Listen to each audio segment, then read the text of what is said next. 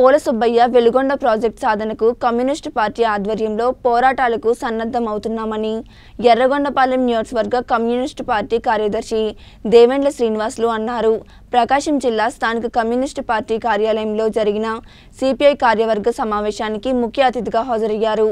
ఈ సందర్భంగా శ్రీనివాసులు మాట్లాడారు. కనిగిరిలో జరిగే జిల్లా మహాసభలకు కార్యకర్తలు సన్నద్ధం కావాలని పిలుపునిచ్చారు.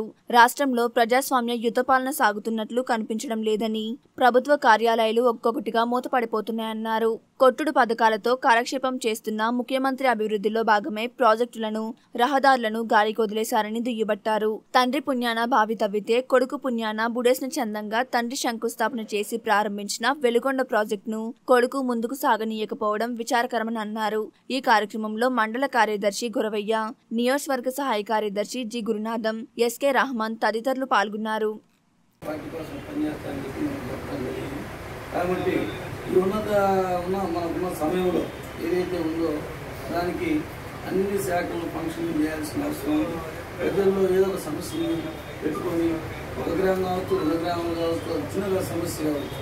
అది బోరింగ్ సమస్య రోడ్డు సమస్య ఏ సమస్య ఈ మహాసభకు సమీపించుకోవడానికి అనుకోకుండా వచ్చే సభలకు అనుకోకుండా అనుకోకుండా వచ్చే ఈ మహాసభకి గుంటూరు విజయవాడను ఆమె వెళ్ళాలంటే మనం ఏ ప్రసాదంతో కూడినాక ఏర్పడిందనేది నా అభిప్రాయం.